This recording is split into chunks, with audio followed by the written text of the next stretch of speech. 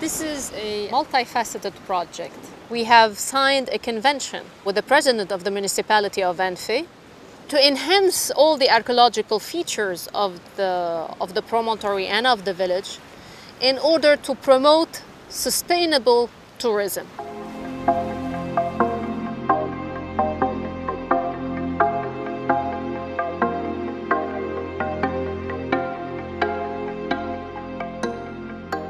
Unexpected was this mosaic pavement, which actually runs underneath the cemetery and covers this entire cistern.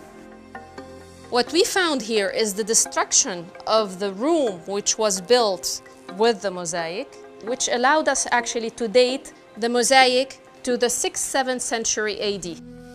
The Roman city of Anfeh must have been underneath the actual village itself because we have collected data from many villagers. They had found several mosaic pavements underneath their houses.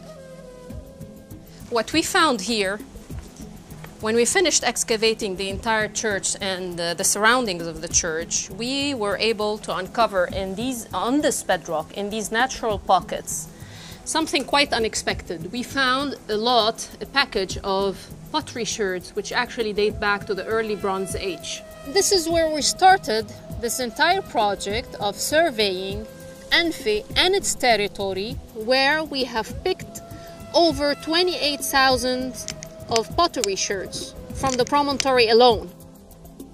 We were able to locate about 300 pieces dating back to the Bronze Age period. Definitely during the Bronze Age, the promontory was occupied.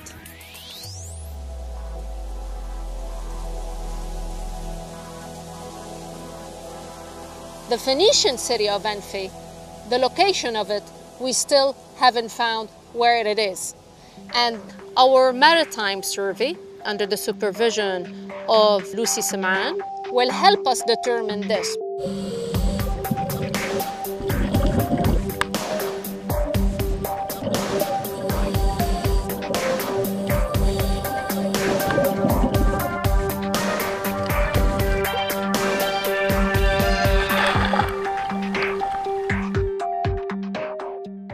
We're able to locate the commercial port of Anfeh north of the promontory, then we're more likely to be able to locate the city itself.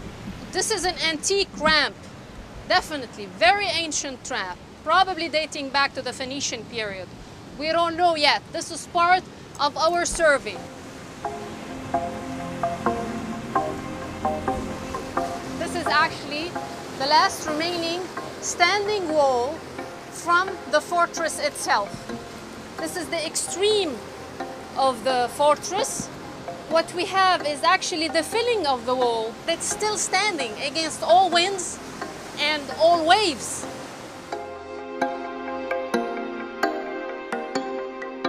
Unfortunately, in 1992, the Lebanese government decided to bring in the Egyptian salt at one third of the price of the salt which is produced in Anfeh and the region, which basically killed the production of salt in Lebanon. We're trying to help individuals who are still leasing salt marshes to jumpstart their production again. And hopefully, between local production and archaeological vestiges, we can put back Anfeh on the touristic map of Lebanon and the Near East.